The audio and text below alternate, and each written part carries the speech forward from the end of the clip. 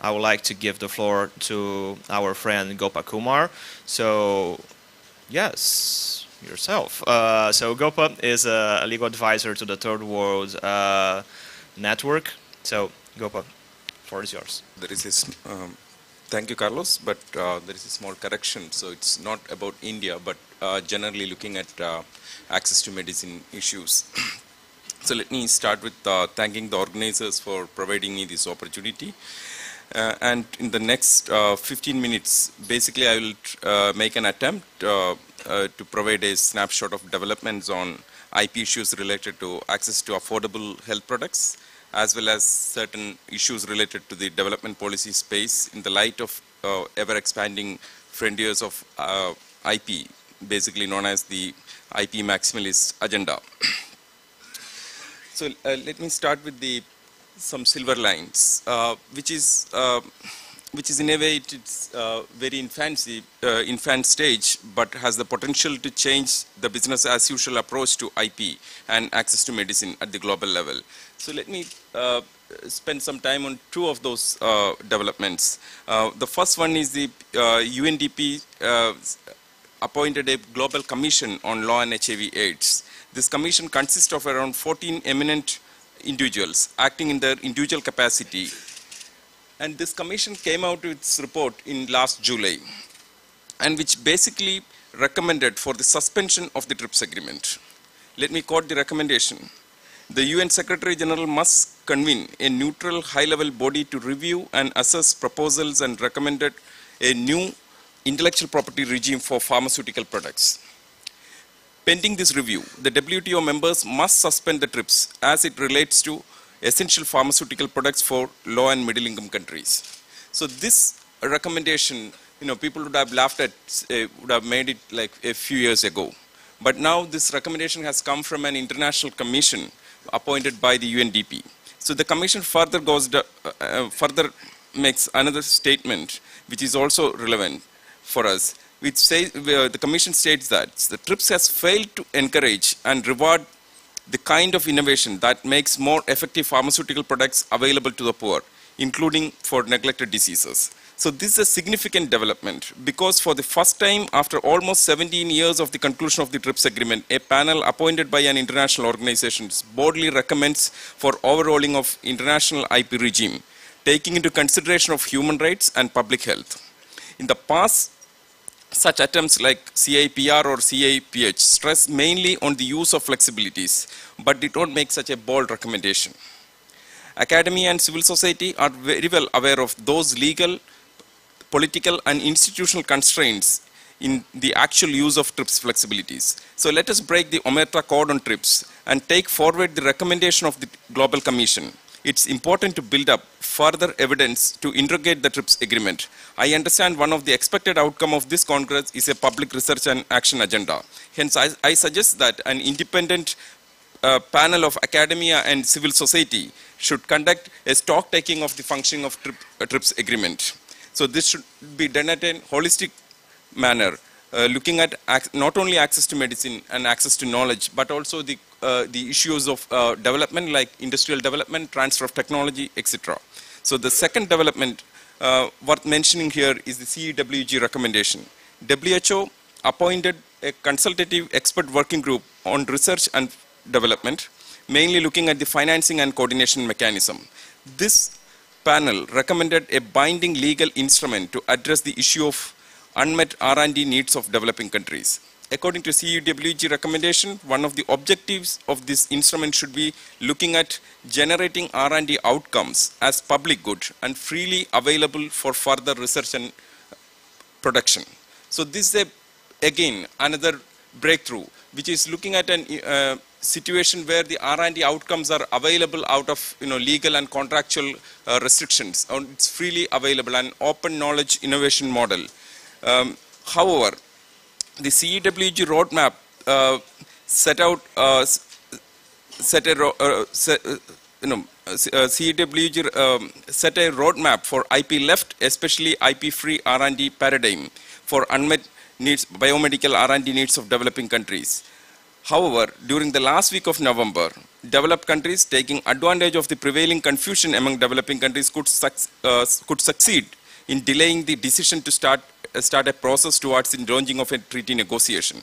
However, the developed, uh, developed countries led by EU and US uh, failed in their attempt to kill the idea of R&D treaty, which is still uh, well within the agenda of WHO, and it will take a few more years, around three years, uh, to take a decision on this issue. However, it's important for academia and civil society organizations um, to work towards the realization of R&D paradigm for IP-free um, R&D paradigm. So now, uh, we also have uh, some encouraging statements coming out of the BRICS and IBSA summits. But the important task is that how to translate these, um, you know, wonderful uh, political statements into reality. So we are yet to see such changes, concrete changes on the ground.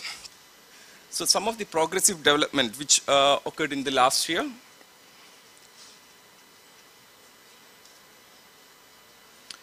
The first one is the uh, least developed countries submitted a request under Article 66 of the TRIPS agreement for the extension of the waiver of TRIPS uh, obligation.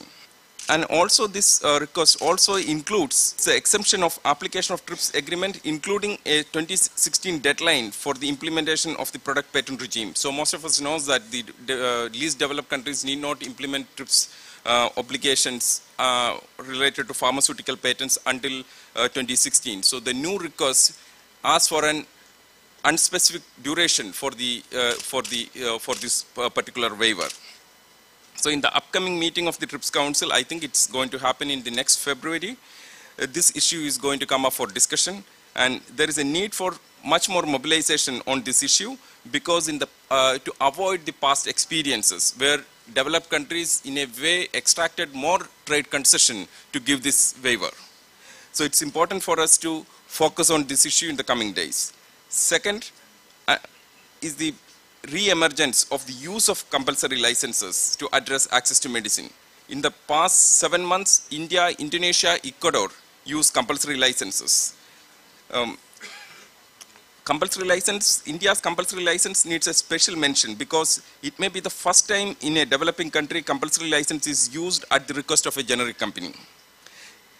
In developing countries, compulsory license generally invoked by the government under the government use provision and not through a quasi-judicial process. In India, a private pharmaceutical generic company approached the uh, patent office citing the high prices of the patented medicine as a ground to issue a compulsory license. And through that process, uh, the company obtained a license on the ground that the uh, patent holder failed to provide uh, the demand in the market because of the high prices and various other grounds also.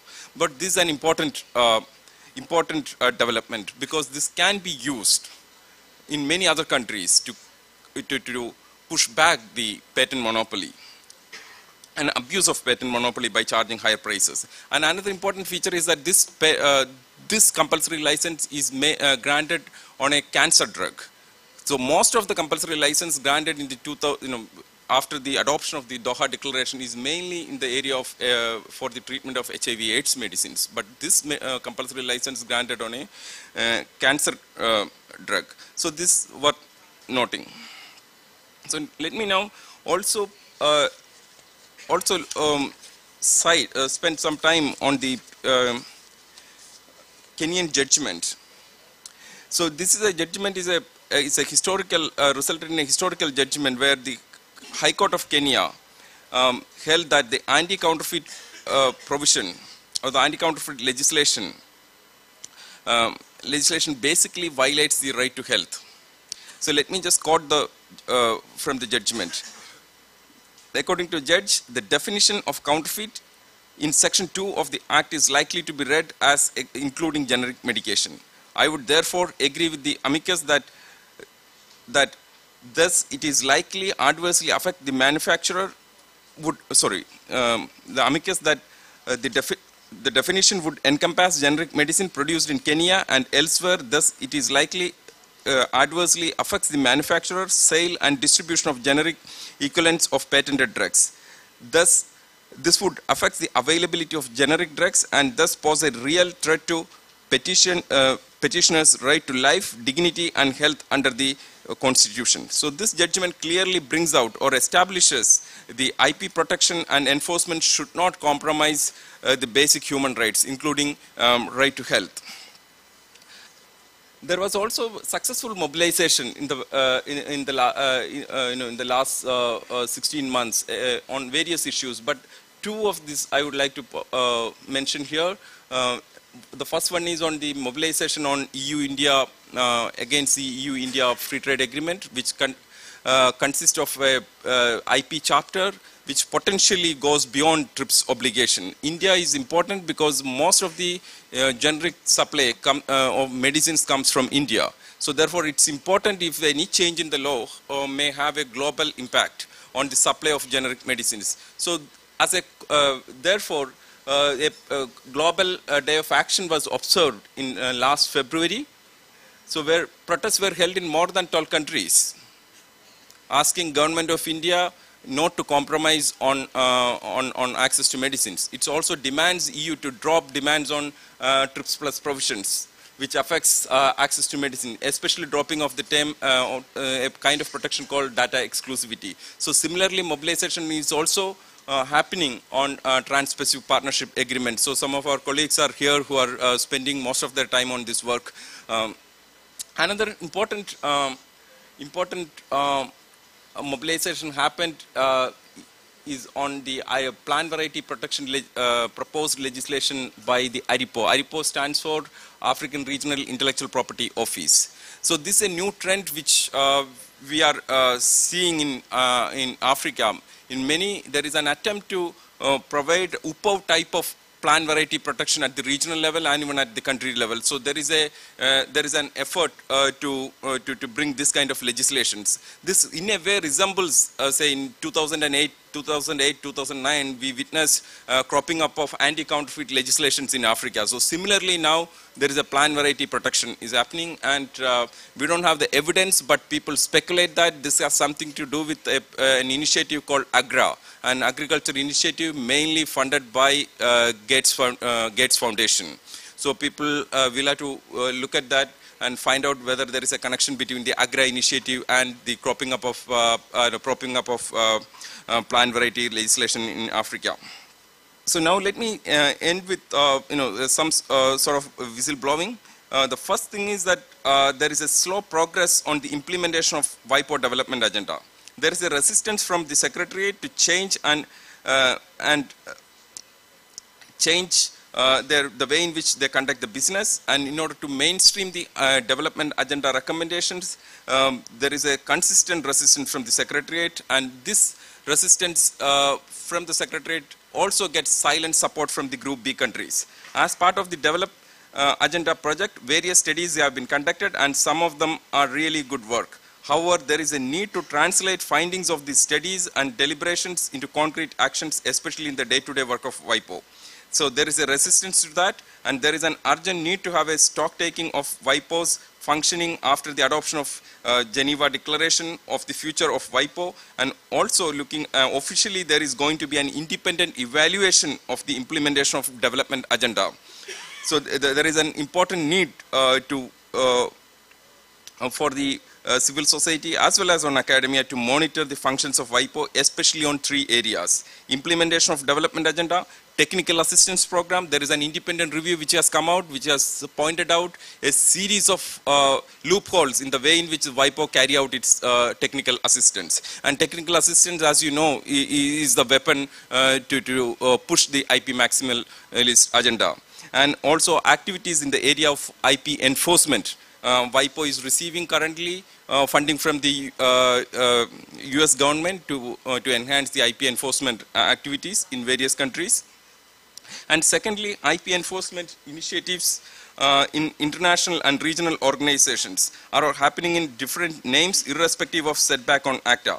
Recently, a, WIPO, uh, a WHO document mapped 16 organizations having a work program in the area of counterfeit medicines.